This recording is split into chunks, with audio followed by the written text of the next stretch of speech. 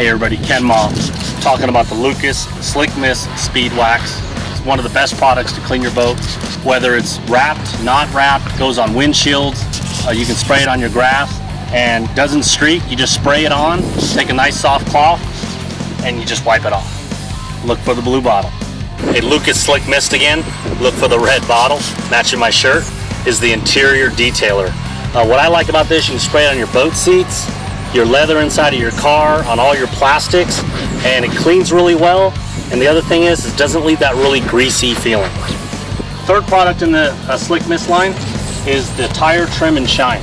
And what I love about this is I put it on my uh, car tires, I put it on my uh, boat trailer tires, the running boards, and I also uh, spray it onto the metal portion of my trailer. These are the three bottles. Look for the red, white, and blue bottle, and that's how you keep your boat and your truck looking clean.